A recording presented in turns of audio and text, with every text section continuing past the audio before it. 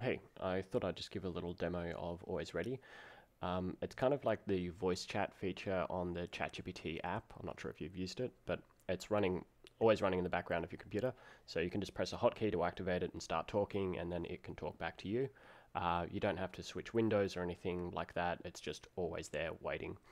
The basic thesis behind this project is that there's just a lot of value in just reducing the friction between you and the language model.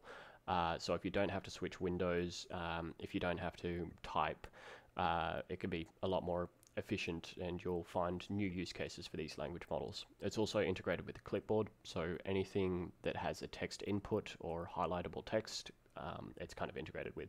I'll just give a very simple uh, example here.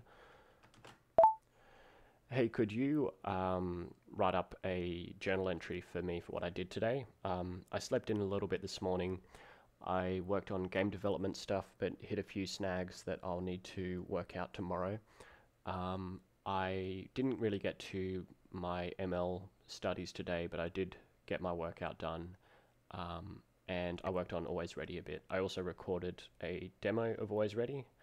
Um, and then can you also write down a couple things that I need to do tomorrow? I need to remember to publish the video and um, work on the game dev stuff that I got stuck on.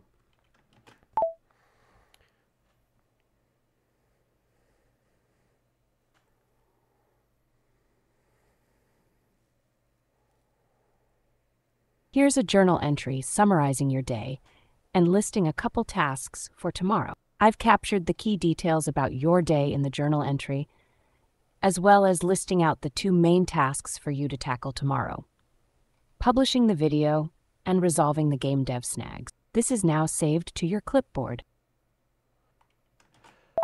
Uh, you've put just like random dates in there. Can you remove the dates? Um, and also, I forgot to mention that tomorrow I had to organize to see my family and go for a walk in the morning.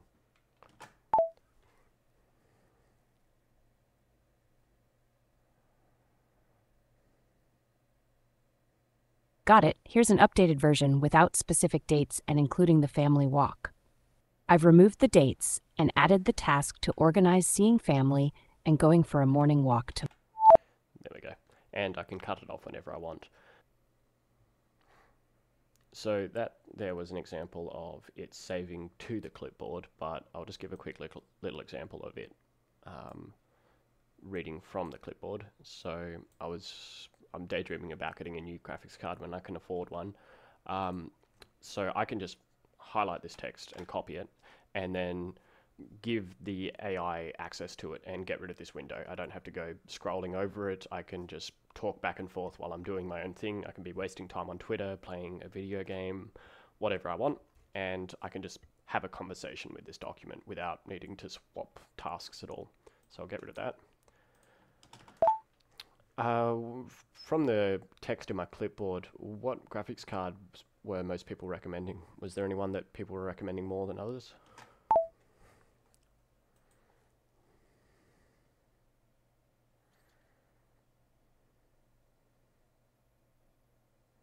From the comments in the Reddit thread, the graphics card that was recommended the most seems to be the used RTX 3090 24GB. Multiple people pointed to that as the best option, especially Could you write up a little list of the recommended GPUs and put it in my clipboard, please?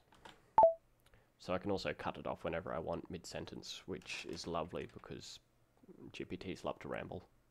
Here's a list of the recommended GPUs from the comments. I've summarized the top GPU recommendations from the thread. And that there is the cancel hotkey.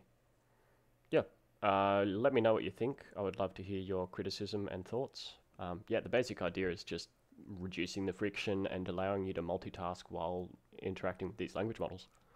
Cheers.